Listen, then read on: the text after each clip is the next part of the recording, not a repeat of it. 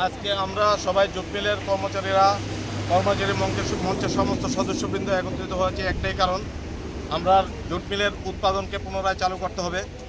Number two, দ্বিতীয় কথা হলো আমাদেরকে একটা বিশাল বঞ্চনা আমরা বিগত থ্রি পার্সেন্ট দিয়ে যখন এই সরকার আসার পরে, বিজেপি সরকার আসার পরে থ্রি পার্সেন্ট দিয়ে যেটা দেওয়া হয়েছিল, এটা আমরা যথারীতি পেয়ে গেছি।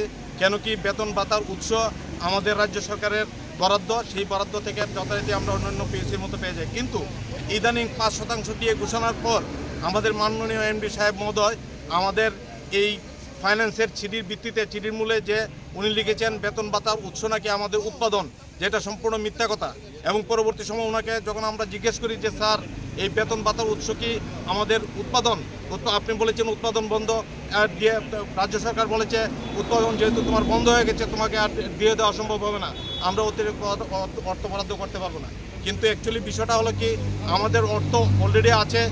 একটা চিঠিতে এমনি সাহেবের চিঠিতে স্পষ্ট লেখা আছে যে, আমাদেরকে অতিরিক্ত অর্থ দিতে হবে না। আমাদের এবছর এবং সামনের আগামী আগামী ফাইন্যান্সিয়াল ইয়ারেরও মাঝামাঝি পর্যন্ত আমাদের বেতন ভাতা সম্পর্কিত আমাদের সম্পূর্ণ অর্থ আমাদের হাতে আছে, বরাদ্দ আছে, আমাদেরকে অতিরিক্ত দিতে হবে না। আমাদেরকে ফাইভ পার্সেন্ট এবং টুয়েলভ পার্সেন্ট দিয়ে দেওয়া হোক। কিন্তু একটাই কারণে আমাদের সরকারি, আমাদের যে রাজ্য সরকারের যে দপ্তর ক্যাবিনেট সরি কি ফাইন্যান্স এবং অর্থ- দপ্তর এবং ইন্ডাস্ট্রি দপ্তর, এই দুইটা দপ্তর থেকে একই কথা বলা হয়েছে যে তোমাদের উৎপাদন বন্ধ। তোমাদের এমডি বলেছেন বেতন ভাতার উৎস হলো উৎপাদন। উৎপাদন তোমাদের বন্ধ। যেহেতু তোমাদের উৎস নেই, তোমাদের বেতন, তোমাদের দিয়ে আমরা কোথা থেকে দেবো? দিতে পারব না। স্পষ্টভাবে জানিয়ে দিয়েছে কিন্তু এটা মিথ্যা একটা বিভ্রান্তি সৃষ্টি করা হয়েছে আমাদের আধিকারিকদের পক্ষ থেকে যেটা নাকি সম্পূর্ণ মিথ্যা, যে বেতন ভাতার ম্যানেজমেন্ট ম্যানেজমেন্টের পক্ষ থেকে সম্পূর্ণ মিথ্যা একটা তথ্য গভর্নমেন্টের কাছে দেওয়া হয়েছে। এই তথ্য দেওয়ার পরে একটা বিভ্রান্তি সৃষ্টি করা হয়েছে সরকারের সরকার এই বিভ্রান্তিত হয়ে এসে আমাদের ডিএটাই রিলিজ করতে পারছেন না।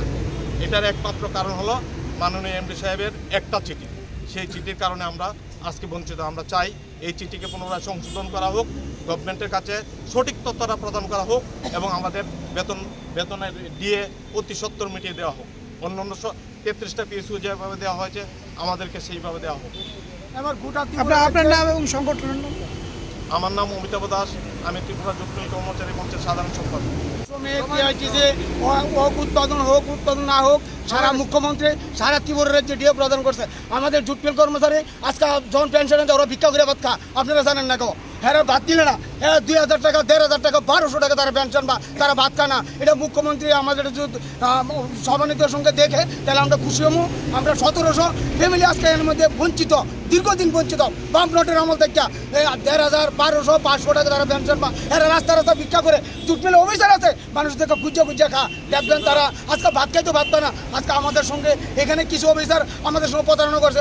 মুখ্যমন্ত্রী গোটা ত্রিপুরার রাজ্যে সবাই রে ডিএ প্রদান করছে। আমাদের ডিএটা হয় নাই। কেন হয় নাই? দেখুন, আপনারা জিজ্ঞাসা করুন যারা কোনো কোনো লোক যারা পেনশন একজন আছে, তার মেয়ে খুঁজে খা। আমার সন্দেহ আছে। অনেক লোক আমরা বঞ্চিত। আমার মুখ্যমন্ত্রী, আমি জানি সবাই দিচ্ছে আমরাও পাবো। মুখ্যমন্ত্রীর মাধ্যমে আপনার মাধ্যমে তারা জানান দিতে চাই আমরা ডিএটা যাতে অতি সত্তর প্রদান করা হয়, আমরা মুখ্যমন্ত্রীর সঙ্গে আছি, থাকব। চলপাল্টায় বিপ্লব এখানে বলেছে, আমরা চলো পাল্টাই করেছি, আমরা দেখিয়ে দিয়েছি। এই যে বিএমএস করে আমরা সব পারি করছি, আমরা কি অপরাধ আছে? ওরা আমাদের সঙ্গে প্রতারণা করে